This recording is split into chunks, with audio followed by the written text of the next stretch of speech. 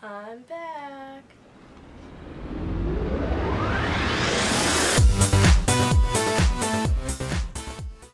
First of all, I'm really sorry I haven't made a video in like forever. Hopefully this will be the start of a long string of regularly scheduled videos.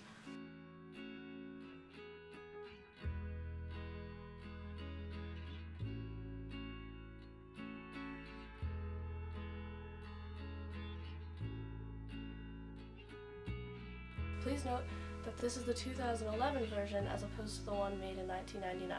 I would like to talk about the original, but I actually haven't seen it yet. Also, for everyone out there who gets so annoyed when people say that anime is cartoon, when I say cartoon, I really just mean not live action. Another quick thing I'd like to mention is that I did look up whether or not you're supposed to pronounce the X in Hunter x Hunter, and I didn't really get a straight answer but I'm just to keep saying it, so I'm sorry to all the super fans if that's wrong. Now I should probably tell you I have seen a good portion of the show, but I have not seen it all the way through. But this isn't really a review on the show as a whole, it's more just my thoughts on what I've seen so far. I also apologize in advance if I mispronounce any of the characters' names.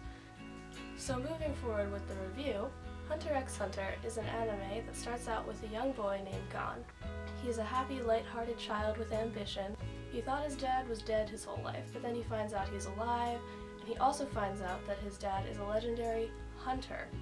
In this universe, a hunter is an elite member of society. They become hunters by taking something called the Hunter Exam, which is a series of deathly mental and physical tests. Gon decides to then center his life around following in his father's footsteps and taking the Hunter Exam. Inside the exam, Gon is soon accompanied by a small group. They all have different motives and ambitions for passing the test. And of course, one way or another, they all end up sticking together.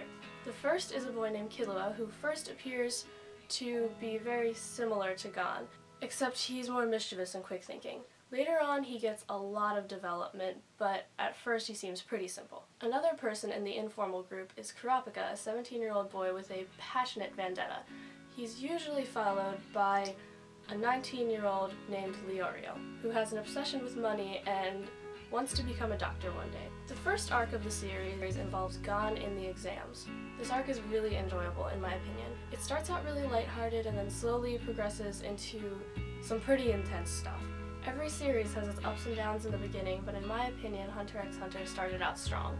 In the second arc, certain events take place that I'm not going to spoil for you if you haven't seen it, and Killua goes back home.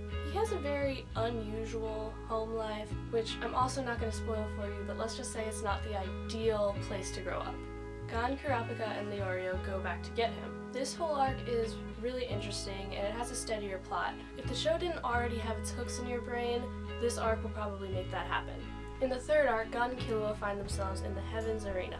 It's basically a fighting tournament in a tower, where with every battle you win, you move up a floor, and the goal is to make it all the way to the top. It takes a few episodes, but soon you start to realize you are in a training arc. There are lots of long explanations and examining people's techniques and rewatching fights. Admittedly, this arc is not the best. They explain a lot of important things, so I wouldn't skip it all together, but it wouldn't exactly be wrong to skip a part or two. The fourth arc is mostly centered around the character Kurapika as well as a new group of villains. This is when the show really starts to get a lot darker, so prepare yourself for some heavy stuff. It's really well done, and we get a better look into Kurapika's character. In the fifth arc, Gon and Killua deal with a special video game called Greed Island that was created for hunters. But soon enough, as interesting as that sounds, we find ourselves in another training arc.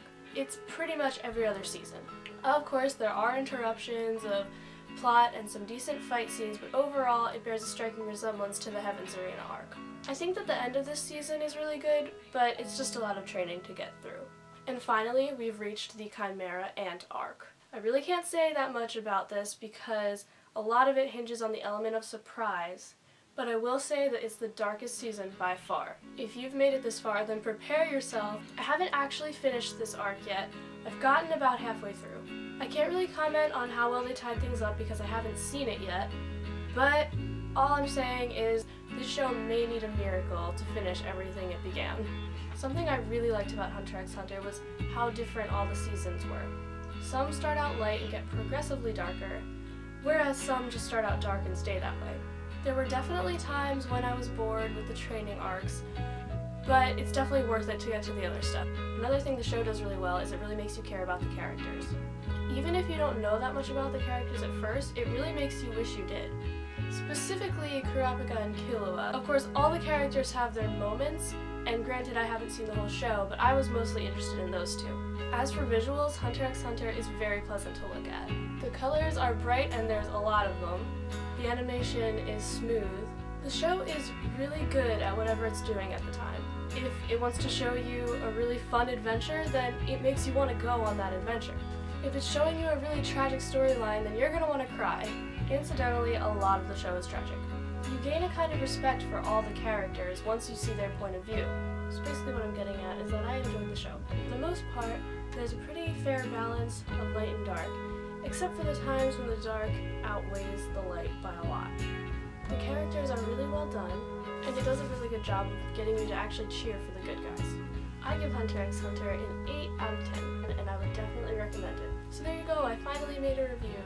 Don't forget to like this video if you enjoyed it, but if you didn't, then don't like it because that would just be dishonest. If you have any opinions on the video, please leave a comment below. Also, you should check out Sentient Sock Puppets YouTube channel to see more of my videos, or to see Josh review video games or David review movies. Thank you so much for watching and hopefully I'll have another review up soon.